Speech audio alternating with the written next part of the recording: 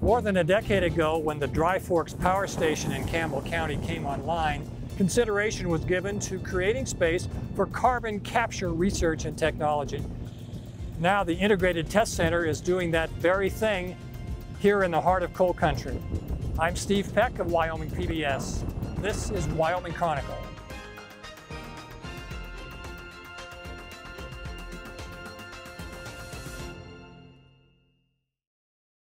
Funding for this program is made possible in part by the Wyoming Humanities Council, helping Wyoming take a closer look at life through the humanities. ThinkWhy.org. And by the members of the Wyoming PBS Foundation. Thank you for your support. I'm Steve Peck of Wyoming PBS. Welcome to Wyoming Chronicle. I'm joined today by Jason Begger. He's the managing director of the Integrated Test Center in Gillette. And with us as well is Scott Quillinan. He's the Senior Research Director at the University of Wyoming School of Energy Resources. Welcome to you both. We're here today to talk about carbon capture, and that's the, the uh, prime directive of the ITC, the Integrated Test Center. Um, who wants to tell me what carbon capture is all about? Yeah, great question, Steve. So, carbon capture is simply the art of separating out the CO2 molecules that come out of a flue gas of a coal-fired power plant or the tailpipe of your car. Here we're working on a coal-fired power plant. We're here at the Dry Fork Station. It's right there. That's a power plant, functioning power plant, burning coal. And so we put the ITC right next to it, which makes a lot of things easier to test out correct? Yeah, that's right. And you know, honestly, the types of technologies that are being tested here, the, the likely customer is a utility. So we're not talking about someone with a centrifuge and an eyedropper in a lab. I mean, this is some, this is a, a large-scale testing effort underway in the industrial field, so to speak. This is yeah. Well, the types of projects that come here are it's that next phase well after beyond, yeah. you know the bench scale. You know, you think typical laboratory you know, such as you know what the University of Wyoming has, you know, taking those really great ideas that merit scale up and going, okay, with the, we understand the chemistry, the process. Now let's try to engineer that and scale it up a little bit bigger to see if we can get the same efficiencies, understand the economics better, and really give a great snapshot to those prospective customers of carbon capture technologies that this thing works. Why is Wyoming so uh, vital and pivotal in the world of carbon capture? So, Wyoming is an energy state. I'm, I'm biased, I call it the energy state. It exports about 90% of its energy to other states around the country, powering the nation. Um, that is in the form of natural gas to the west coast, it's coal to the south, to the southeast.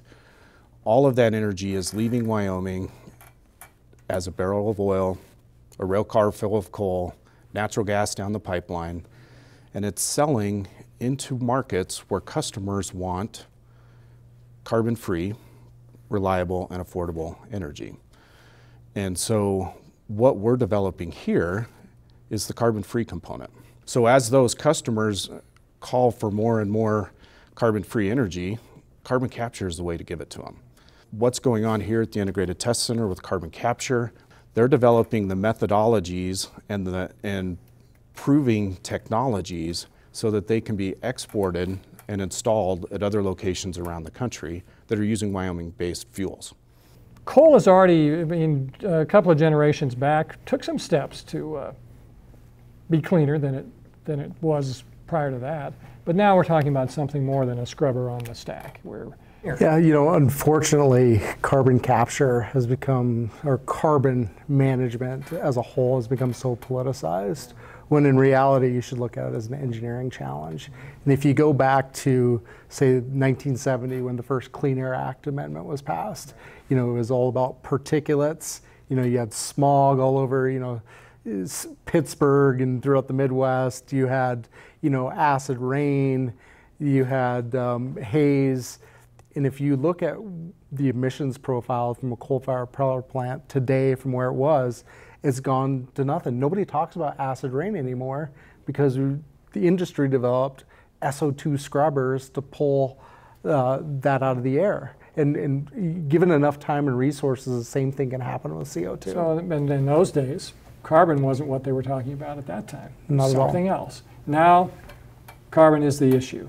Mm-hmm. Uh, and it's important for market reasons, of course, um, environmental reasons, of course. Uh, we want to capture carbon for more reasons than just one. Um, and that's why so many people are interested in it. A couple of years ago, I heard former uh, Senator Heitkamp from North Dakota say carbon capture can mean different things to different people. You know, states like North Dakota and Wyoming, you know, there's, there's so much economic, you know, tax base, you know, lifeblood that the uh, fossil energy industry provides to the state that yes, we need to find those, keep keep that tax base, those jobs going. But for those who are, you know are really into carbon emissions from an environmental perspective, carbon capture can be important that way too. So it doesn't have to mean the same thing to everyone. I also think carbon capture provides a way to help diversify our economy. So with all this interest in carbon capture, now we're starting to see industries developed around direct air capture and blue hydrogen, so hydro making hydrogen from natural gas. If you install carbon capture on that, that enables a whole new industry. So I, I really do think that carbon capture is, is a key to our future here in Wyoming. There's this ongoing supply of what we call flue gas, is that right? Yeah, that's right. So uh, Dry Fork Power Station um, is probably one of the newest coal-fired power plants in the country. It came online in about 2011. And so it does have all the bells and whistles when it comes to emission control, mercury control, SOx, NOx, particulates. And so what goes up the stack is already a very clean flue gas. And so what the ITC does is we're able to divert uh, about 5% of those power plants emissions into a pipeline network that delivers flue gas at uh, seven different test locations for technologies to come and plug and play their technologies. And even Big Coal sees the reality of this for the reasons that we talked about. Um, you mentioned senator, and I know you, what you're in there in politics early. You, you try to stay out of that part of it. You're, a, you're a scientist, you're an engineer, you're running this uh, test center. Uh, how hard is that for you to do? Are, are, you able to, to wall that off pretty well, or is that even possible? Well, interesting, Steve, is I'm actually a, a political, I have a political background. I was a Capitol Hill staffer in D.C. No for five years. Really? Um, you know, worked in government, uh, worked in-house government affairs for a number of companies. And, you know, I was, I was brought on during Governor Mead's administration to help kind of kick this thing off because they realized that it's a political challenge as much as it is a technology challenge. And so, you know, getting all the partners to uh, kind of align in a shared vision. You know, the legislature appropriated the funds to make this thing happen. So, you know, like it or not, there is a pretty heavy political component, and that really is more of my background than the technical side. You know, Scott's the geologist, and uh, you know, a lot of it, it, it's a takes a marriage between both sort of the policy and the science. Now, originally, the School of Energy Resources, which is University of Wyoming uh, department, a school, was not part of this, but more recently has linked up with it. Tell us about that. Yeah, so fortunately, we've been able to absorb um, the Integrated Test Center and bring it over to School of Energy Resources. Uh, previously sat with the governor's office. Um, it's been a really easy transition, and the, and the reason for doing that is just so that we can continue to support the R&D functions that are, that are ongoing here. Recently, uh, some attention was generated by two uh, projects that are using the facilities here uh, to try to uh, develop their own different approaches to this issue. What are the two uh, enterprises? One is uh, company called Membrane Technology and Research, which is also known as MTR. We love our acronyms around here. But um, they are a California-based company that has developed a, uh, a filter, more or less, a membrane filter that uh, can separate CO2. And so they have gone through a number of uh, smaller scale testing, um, uh, smaller modular type uh, research, and now they're ready to develop a really big system, about 150 ton per day system, that if successful, the next step beyond that is commercial full scale. So it's a pretty major undertaking, and it's about an $85 million project. So it's not small by any means. Yeah, so, and the other one is? Is Kawasaki Heavy Industries out of Japan. Everybody knows Kawasaki, you know, you think motorcycles and things like that, but uh, they're actually a very diversified heavy industrial company, and, and um, they have a carbon capture division and uh, they brought a technology over from Japan, and it's a, a, dry solid sorbent that when the flue gas is run through that powdered sorbent, it captures CO2, and so they're going to run a number of uh, tests to uh, try to understand um, the efficiency and effectiveness of that. This is not a science show, and you're looking at a non-scientist. What's the difference between the two approaches? The sorbent process is um, more of a chemical process where you have a dried powdered sorbent and a, it's a uh, classification of chemicals called amines. And amines like CO2. And, and within the amines, there's other categories. You got liquid solvents, you got dry sorbents. Um, this one is particular, it's a powder with that amine that attracts that CO2. And then when you heat that uh, powder up, it releases that CO2, you cool it back down, and then you can keep cycling it. Whereas the MTR approach is more of a physical process where you're pushing that uh, flue gas over a membrane, which then separates the CO2. So there's lots of different uh, processes for capturing CO2, and it's uh, pretty broad uh, categories. And so when the, uh, the gas passes through the membrane, for example, mm -hmm. the gas that comes out the other side is a more pure form of carbon, is that right? Right. So it's, it's going to be greater than 90% carbon dioxide. Yeah. And CO2. At, and at that point, it can be compressed and it can be put down a well. And the interesting thing when you compress CO2, it's no longer a gas. It goes to a really dense phase fluid and so when you inject it down the well bore, then you're injecting a fluid, just like a wastewater, it, just injecting a fluid uh, deep down in the subsurface into the rock formation.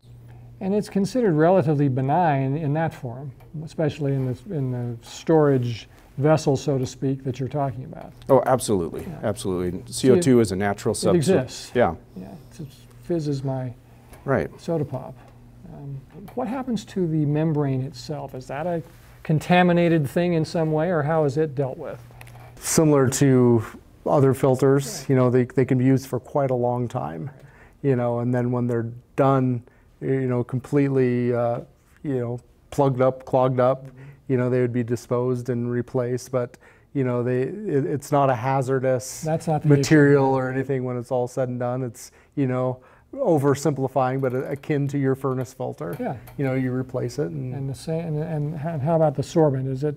Yeah, again, you know, it has a, a certain life, and part of the test that they're doing here at the ITC is to understand how many times they can cycle that, run it through that heating and cooling cycle.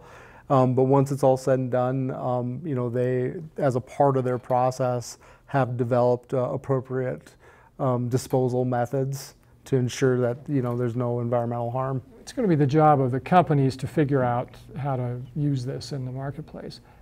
But is your understanding that these, for example, the two that you've just described to me, they could both exist in, the, in a future market? Or are we trying to establish an industry standard that this is what everybody's going to use? Or uh, well, my opinion is there are going to be a lots of different yeah. processes that are going to have different benefits and weaknesses and strengths and applications, you know. In, in my mind, you know, it's similar to you want to go buy a pickup, you can buy a Chevy, Ford, Dodge.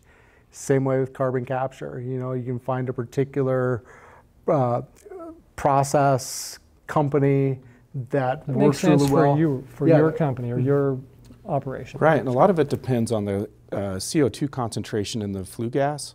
So things like coal and cement that have a higher CO2 concentration might prefer a membrane-based technology. But something that is like natural gas-fired power plant might prefer an amine type technology. So they will be sort of designed for whatever source they're trying to capture from. The gas is, is set aside a percentage of it. And so you're trying, they're trying to find out over in the building next to us how this works on a, on a bigger, a bigger scale. How would a, a customer use it exactly? If say if I've got a power plant down south somewhere. Yeah, well, ideally, you know, they would come out here, they could see the process, you know, see a, a project like MTR's, how their membrane system works, um, you know, the footprint, the size that it takes, you know, um, it is an additional unit next to a power plant. Not every power plant might have the physical space for something like that. So get a sense of what it is. You know, um, they would contract with a company like MTR to say, okay, can you design a unit to meet the specifications of our particular power plant and um, build one out? An Yeah. interesting point, when you drive around the Gillette area in Campbell County here, you see a lot of these big power stations, and they're, you know that's what it is, Mm-hmm. but they're not the same. It's not a, it's not a cookie cutter model at all. No. They've, uh, different designers, different plans, different eras. Absolutely. And this is what, part of what the challenge for the, the companies testing here now have to, have to meet as well. Yeah, and, and you know, and, and different, you know, coal is, is varies based upon the, the basin. Heck, it can be different in different areas within the Powder River Basin. And so the flue gas constituencies are slightly different. And so, um, you know, every power plant is really designed specific to the type of coal that they do plan to burn.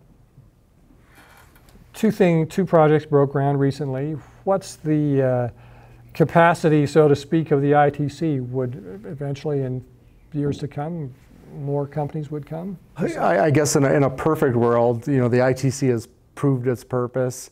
If a technology emerges and Dry Fork Power Station says we want to build a full-scale carbon capture facility, and and you know and that might actually take up the space that the ITC presently uses. But it can also, you know, hopefully that technology, those lessons can be deployed around the country or even around the world. And so I think it's important here to bring in the, the storage components that are being developed at this location. Sure, there's the capture and then what to do with it afterwards. Yeah, so Wyoming Carbon Safe, it's a DOE-funded um, That's the project. Federal Department of Energy. Correct. Yep, from the Department of Energy. Uh, the School of Energy Resources leads this project. Uh, we started developing the storage components at this location. So in 2019, we've drilled a 10,000 foot deep well, and in 2021, early 2022, we drilled a second one. And those wells were the first wells drilled in Wyoming that meet the Class 6 standards uh, for CO2 injection. Class six standards. Better, That, I'll unpack that. Okay. So, uh, class six is the type of well that you need to inject CO2 into the subsurface. So this is a whole completely new uh, type of well class and permit that really ensures the safety of CO2 storage and injection. As you go through permitting these, what permitting these wells, you really look at risk, you look at safety, you look at mitigation, you look at all, everything surrounding it, so that we know when we inject the CO2 into those wells, it's going to be permanent and safely stored. So these two wells at this location are the first two wells in Wyoming that are drilled up to these new standards. Um, and soon we'll be submitting the full permits for those uh, to be converted over to Class 6. does the class six standard get achieved because you've drilled a well into a particular type of uh, underground structure, geologically speaking, or is it part of, is it the way it's drilled, the way it's monitored afterwards? All of those things. It's the way it's drilled, it's the formation it targets, it's the materials that are used to construct the well, it's the cement that's used to construct the well. And so all of those allow for the injection of, of CO2 safely. The, the interesting thing about that project is just like the capture technologies at this location are proving up commercial capture. The drilling of those wells and the work and the characterization work that have gone into those is also proving up the commercialization of carbon storage at this location. It's the only, it's the only place in the country doing this. Yeah, So we can talk about that as a, as a job creator in the future. Absolutely. Are these, would you call them uh, part of the green economy that supposedly can generate uh, all these millions of new opportunities? Is that, is carbon capture one of those, or does it sort of straddle the, border, do we think? Our goal is to get to net zero. Yeah. And so installing carbon capture on a coal-fired power plant, a natural gas-fired power plant, if it gets us to net zero carbon, it's a green energy technology. Part of what SER does, we're educating young people at the University of Wyoming into these fields, correct? we will produce a generation of graduates who know about this stuff. Absolutely, and we're really proud to share that we are the first uh, university in the country to have a CCUS certificate or carbon capture utilization and storage certificate. So our undergraduates, as part of their undergraduate degree, can be certified in carbon capture and storage. The jobs that are associated with carbon capture and storage are really closely mirror what we have in the oil and gas industry. And so we already have that expertise in Wyoming. So as these projects begin to deploy, we'll really be just bringing that knowledge and expertise over from the industries we already have. Jason, what qualifies someone to become managing director of ITC? You know, I think where I was really brought in is I had the good fortune of going through Leadership Wyoming with former Governor Mead. Yeah. And so I had developed a little bit of a relationship there. So back in 2014, when the legislature appropriated money to construct an ITC, um, it was typically what legislatures do is like, we'll give you money, but you need to answer this laundry list of questions first. You know, you need to identify a host site, you need to find other partners, you need to find those first tenants, those types of things. And so those questions were more political coalition building questions as opposed to technology questions. Right and so your street. Yeah. yeah so the, the, the coalition building is probably more the political side. How difficult has that been difficult for you? Do you find that the people in Wyoming that you need to deal with are receptive to what's happening here? Wyoming is a unique animal politically. You know, we love our fossil energy. Um, you know, sometimes, uh, you know, uh, the tendency is like, oh, climate change isn't real. It, uh, you know, we don't we need to be wasting money on like that. But I think the game changer was when um, our leadership started talking about whether you think it's real or not, it's a political and economic reality. And if we want to continue to have the billions of dollars in tax revenue and the thousands of jobs and everything good that comes from the fossil energy industry, you need to have the technologies to give the customers what they want. And right now it's low carbon electricity. And so that kind of changed the narrative and, and made it a lot easier. I, I think the folks in Wyoming have a really high energy IQ. They get it. They know what's behind their light switch. They know what it takes to, to power the nation. And so when you start talking about carbon capture and storage, it, it's a really, it's a different conversation in Wyoming. It's, it's another energy project, and it brings jobs, it brings revenue, and it and it uh, it's really, in my opinion, and working with our communities, it's been really well, well received. And one of the things that always struck me, maybe with amusement or some other word would be better, was the, always the talk politically about coal country. And here's a guy from Ohio, or a guy from Kentucky, or a guy from Pennsylvania, a guy from West Virginia. Bless them all, all important people. Coal country, right here yeah. that we've got. And this is happening. Is there, a, is there an ITC in West Virginia somewhere? I mean, I'm not trying to criticize or make fun of any of it, but I'm just saying here in the heart of what actually is coal country, mm-hmm. this is where this is happening too. It's what sort of what you're getting at. Right. Um, our, our industry is the one that's making this possible. Right. You know, the ITC is one of a kind. Yeah. You know, the actually the only comparable facility to it in the world where you can access post-combustion flue gas is a facility in Norway. Really? So you know what Wyoming has done here, and then you know you add in the the carbon safe storage component, just you know right next door. It's it's a one of a kind facility. You know nowhere really in the world can you get what you get here. So can this be done? How optimistic are you that we can get to the point where there would be uh, carbon to be captured, controlled, stored to the point that uh, these market and environmental imperatives that are becoming so important now can actually be met? Is it? We need energy. We need reliable, we need affordable energy, and we're going to need a lot of it. And so we need to be able to manage our carbon emissions to access all of the energy sources that, that we have access to. I've been working in carbon capture and storage since about 2005, so it's I've been doing it for a while. And I can tell you when I started I thought, well, this is too expensive. This is a pipe dream. Nobody's going to buy into this. Here we are in 2023. It's a different world. It's controlling our carbon emissions is a real thing. And I think unless we're willing to hang up our cell phones, turn off our lights, I think installing carbon capture on all of these uh, different energy sources is, is really the way we're going to go. Is Wyoming coal better suited for these than the so- so-called harder, hotter coal from the from the, another part of the country? I don't think that's an issue. Why we need it to work for Wyoming coal is Wyoming supplies 40% of the nation's coal. And so if it works on Wyoming coal, um, we're moving a long way. The ITC was the start of something that's now become bigger than just itself, correct? There's some sort of some momentum, some snowballing almost. Yeah, absolutely. So the Integrated Test Center was first, and because the Integrated Test Center was here, we were able to recruit the Wyoming Carbon Safe Project. And then along came the WIAC facility or the Wyoming Innovation Center that's working on coal to products.